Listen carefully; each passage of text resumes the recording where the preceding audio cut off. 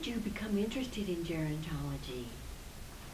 Well, I have a very unusual story. I was teaching high school in Watts in Los Angeles, and I decided that was right around the time of the Watts riot, so I decided I needed to change professionally. So I went for an interview. Um, one of the places they sent me was to the Andrus Gerontology Center at the University of Southern California. Now, in my ignorance, I was trying to figure out, okay, gerontology. The only thing I could figure out is, well, that geritol. So geritol is for older people. So maybe that's what gerontology is. So I went and I interviewed with Dr. Jim Birren, who is a very famous gerontologist at the University of Southern California, Dr. Maury Hamovitch, who was the Dean of the School of Social Work. This was on a Friday afternoon, and I started work on Monday morning at the Andrus Gerontology Center, and they hired me as the Director of Continuing Education and Summer Programs. And so um, for, that was 1968, and uh, while I was there, that, uh, that is really, you know, it was just being in the field and putting together educational programs for professionals. Because at that time really people had almost no training in gerontology or aging in terms and so it was a great opportunity. I always said to jim Birren, i want to take you know the ivory tower to the community. And so that's what we did. We offered continuing education programs and summer institutes on aging. I still run into people who talk about, you know, these programs. And then while I was there, not to dwell on this too long, but um, many of my bosses, quote unquote, were presidents of the Western Gerontological Society. And so what did they do? They put me to work to do their work and putting together the conferences until it got to the point that we were getting over 2,000 people coming to these conferences. And I was then on the board of the WGS Western Europe, and they, uh, they said, how would you like to become our executive director? Of course, they had no money. But I said, I will do it, but only with the stipulation that they will be headquartered in San Francisco. So that's how I sort of fell into gerontology, but it was very exciting because it was such a new time for the field. So at what point did your, in your career, did you embrace gerontologist to describe yourself?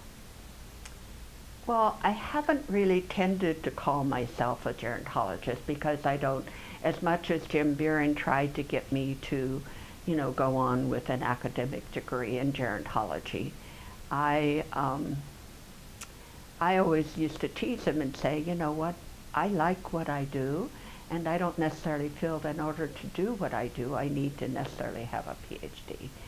And uh, so then when I went to become the executive director of the Western Gerontological Society, um, I certainly view myself as working in the field of gerontology and in the field of aging. It's just that I haven't necessarily identified or classified myself as a gerontologist. Did you have any female mentors who impacted your moving to gerontology? Well, you know, it's interesting because at the Andrus Center at USC at that time, almost all the leadership were men. So, uh, you know, whether they were biology or architects or, you know, because I remember when I first uh, started there, I was like, so what do I call somebody with a PhD or an MD? Do I call them doctor? Of course, all these people would say, just call me Joseph or Yatsik or Jim or, you know. uh, but um, so I would say at the Andrus Center, Ruth Weg was one that um, certainly had an influence on me. And then as I moved into the Western Gerontological Society and then in the future we became the American Society on Aging, there certainly were people in leadership roles who were terrific mentors to me. You know, people like Carroll Estes and Jeanette Takamura and Donna Yee and Joanne Handy and, you know, so there were quite a few. Um, and of course I would always go to, because as the exec at, at WGS and then ASA, I always went to the Gerontological Society meetings, and uh, you know we were very actively involved with with both them and with the National Council on Aging and and other aging organizations. What is unique about being a woman gerontologist?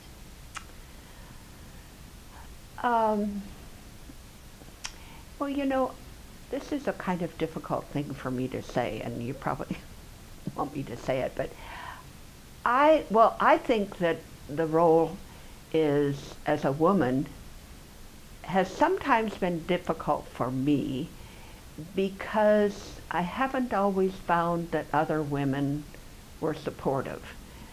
It tended at times, and what people would say to me, well, Gloria, they're jealous of you because you have this, you know, president, CEO role. And, and I said, well, but aren't we all supposed to support one another? And because that was the thing that was important to me was to be able to help others, and especially my staff and others in our leadership and so on, to be able to have those opportunities, especially as women. And so sometimes it was disappointing to me, you know, that that wasn't always reciprocal. How has being a gerontologist interacted with like, your own personal aging process? Oh boy. Um, well, I think that, um, you know, I've had the opportunity that because I was putting together educational programs and had just fabulous faculty that were teaching the courses and seminars and so on. I learned so much from all of these people and from putting together these programs. So I think that I've been able to take that information and attempt to use it, you know, as I myself, uh, as I always say to people, all of a sudden I discovered I was working in the field of aging for years, and all of a sudden I aged in place. So. Do you see any difference in uh, diversity in uh, people of color in aging? Well, interesting you should ask that because one of my major commitments, and like ASA was one of the first organizations where we had a lesbian and gay aging issues network, and we had a, uh, you know, groups for persons of color and, um, you know, just all sorts of different constituent groups. And then we tried to influence other organizations to do the same. And we had a wonderful partnership with like the National Hispanic Council on Aging and and uh, all of the various ethnic groups that have their own national organizations. And so it was really exciting to be able to collaborate with them. And yes, I mean, there certainly are difficulties and so on, but um, I'm not always happy when people assume that if you're a person of color and aging, that you're poor and unhealthy and, you know, because that's just not true. Yes, just like any whether you're Caucasian or of ethnicity, certain people are going to be having difficulties, you know, whether it's, uh, you know, as you say, whether you have lifelong disability or whether you age into disability. So. The WIGL project focuses on the legacies of older women gerontologists. Within that framework, is there anything else you would like us to know?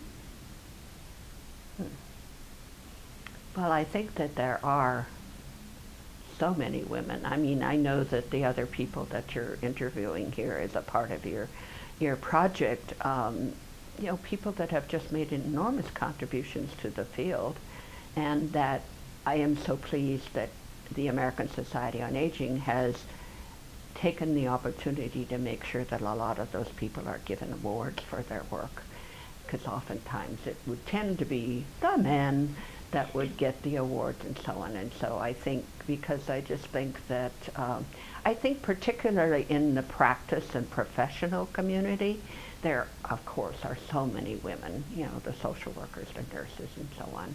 Uh, and that's not to say that in the academic community there aren't as well, you know, the academic and research community. But um, so, you know, that's, I would say that's pretty much